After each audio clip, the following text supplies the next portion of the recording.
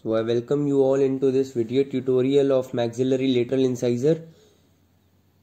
This video series has been made by Dr. Rahul Hazre and uh, here we start with marking the crown and uh, distinguishing it from the root. So here we can see step 1 we need to reduce from the mesial and the distal sides if we view it from the labial aspect. The mesial center of curvature is at the junction of the middle and the incisal third whereas for the distal it is in the middle of the middle third. If we view it distally we will see that labial COC is cervically placed so that is what we are reproducing here created the space lingually and there we have roughly demarcated cingulum and COCs. Occlusally we would see a kind of lingual tapering. Entire crown would be tapering towards lingual side. Yes, this is how we produce it. You would be doing this with the help of your carver. Here we are having a larger wax block, therefore we are using a knife for gross cutting. Now with the help of a carver we would be refining these sharp crest of curvatures into something which is very only only very closely distinguishable.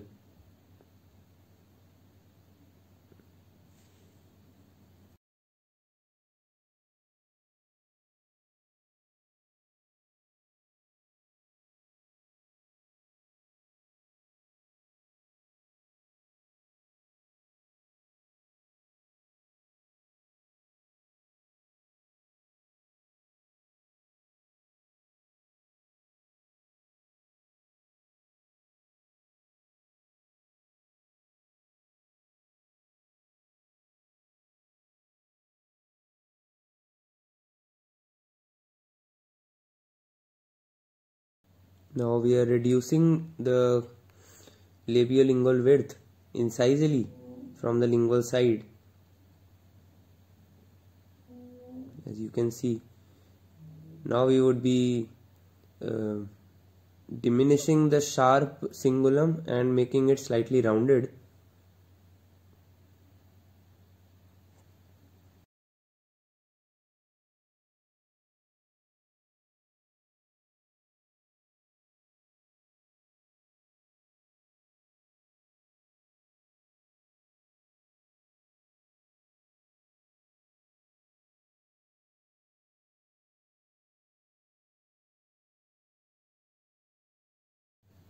rounding off the sharp line angles with the help of a carver.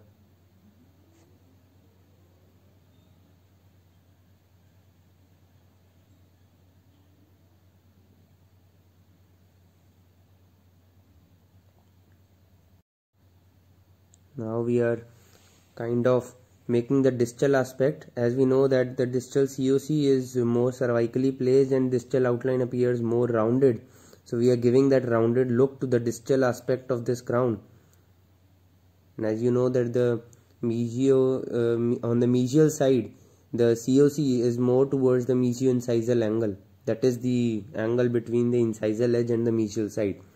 Right now we have rounded the distal aspect and you can see that COC has come towards the middle of the middle third. Now we are clearing out the excess lingual uh, wax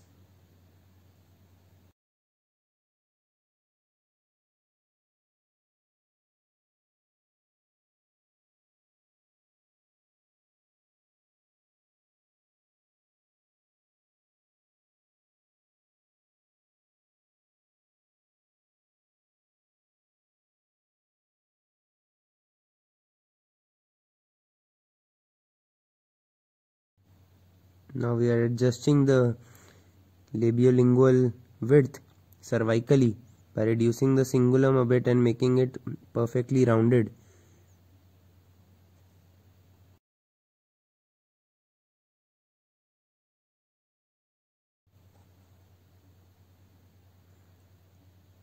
You must notice a kind of distolingual twist which has been given to this tooth because as you know that maxillary lateral incisor kind of marks the point from where the arch slightly twists in its semicircular manner. So that is kind of simulated in this carving as well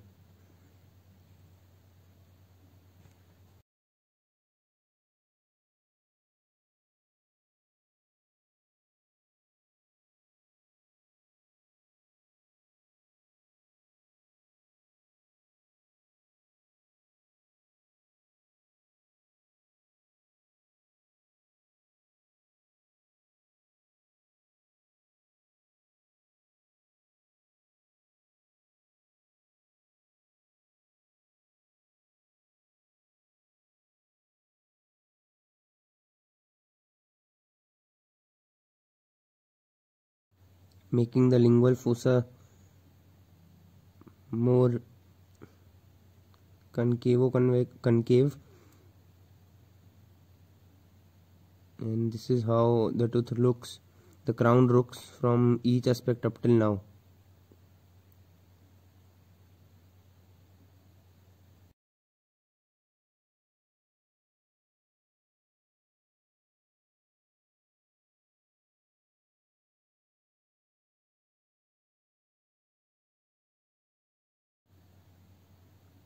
anytime if you feel that you have skipped a step you can definitely rewind it and see and pause at the specific step until and unless you kind of reproduce the same step on your very carving now we are grossly finishing with the help of a sponge here. You have to make use of a linen cloth on a wax carving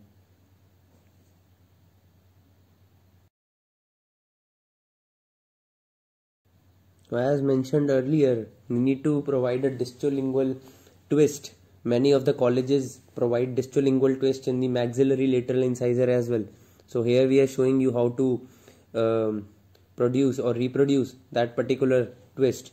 We need to carve specifically on the distal lobe, that is the distal area of the crown in, uh, when we view it from the labial side, specifically the labiodistal area and after carving like that and finishing need to give it a perfect rounded appearance so that that particular area doesn't appear does not appear different from the rest of the area. It must look uniform.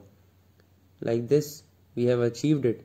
Now we would be removing some excess wax from the lingual distal area so that our twist becomes more and more uniform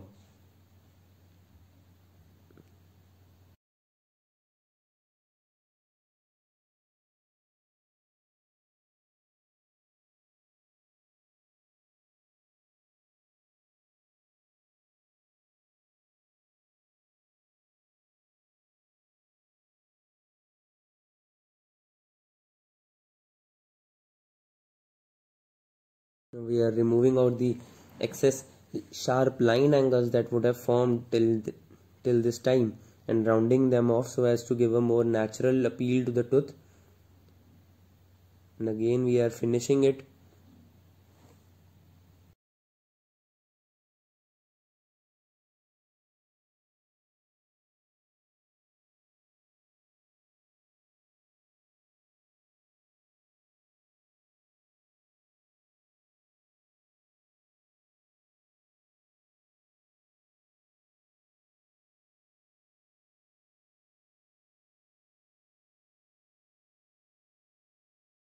this is how the tooth appears till now from each and every aspect.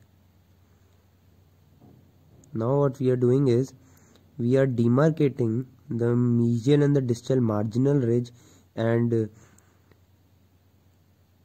highlighting the lingual fossa.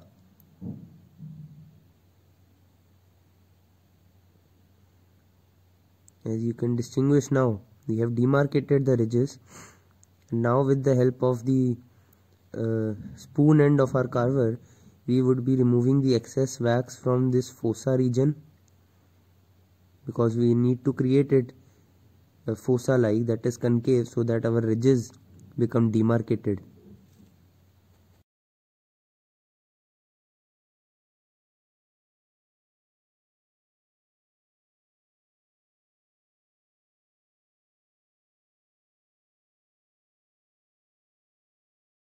we will make use of our carver the curved end and make this fossa uniform. Because with the help of the spoon end we tend to create uh, non-uniform concavities that can be uniformed with the help of our curved area.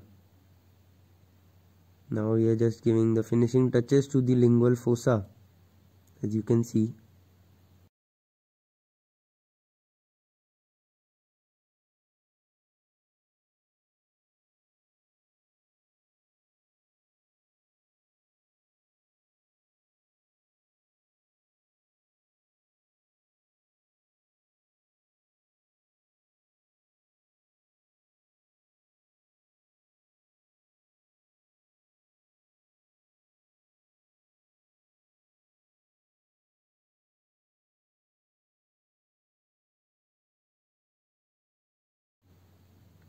as you can notice how much we need to remove for the root area.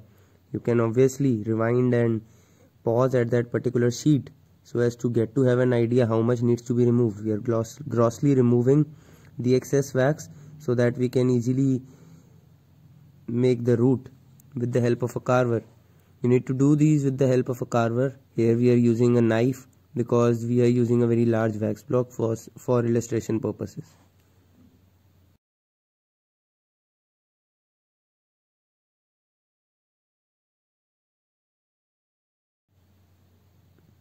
you would be kind of establishing a pole like or a pillar like wax cylinder below the root below the uh, crown so that our root making process or root carving process becomes quite easy. Now we would be giving it a uniform look and uh, rounding off the line angles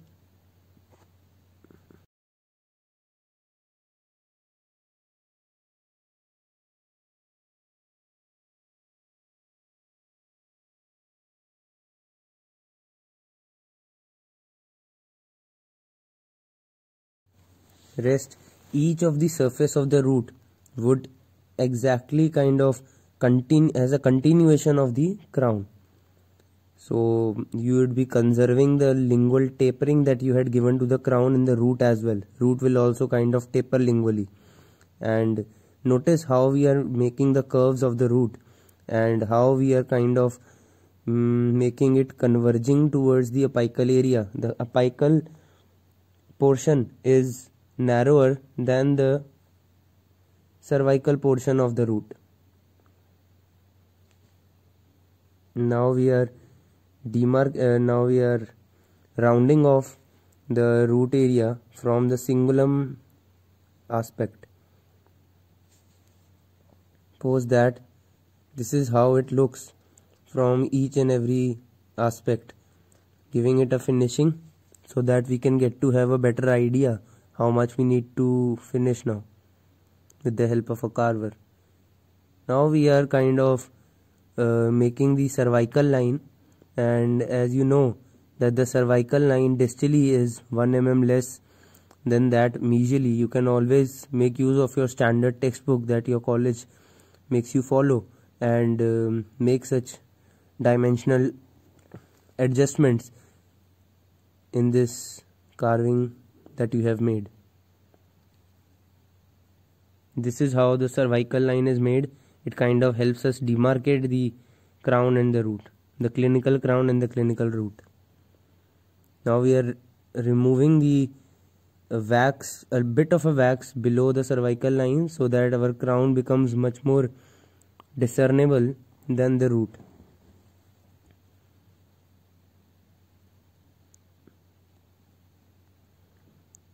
Making root slightly more slender.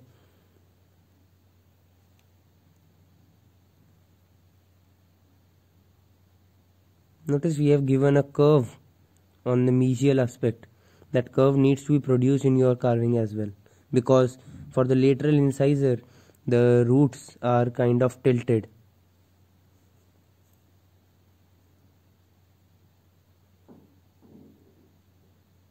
they're tilted towards the distal side as you can see. This is how the carving looks from each and every aspect for now. We'll kind of reduce sorry reducing the contrast so that we can easily distinguish all the curves and demarcations. Certain colleges also tend to uh, instruct students for making the developmental grooves you can surely make them. That's not uh, too much of a difficult task. With the help of a carver you can definitely make up the developmental grooves. And that's it for the video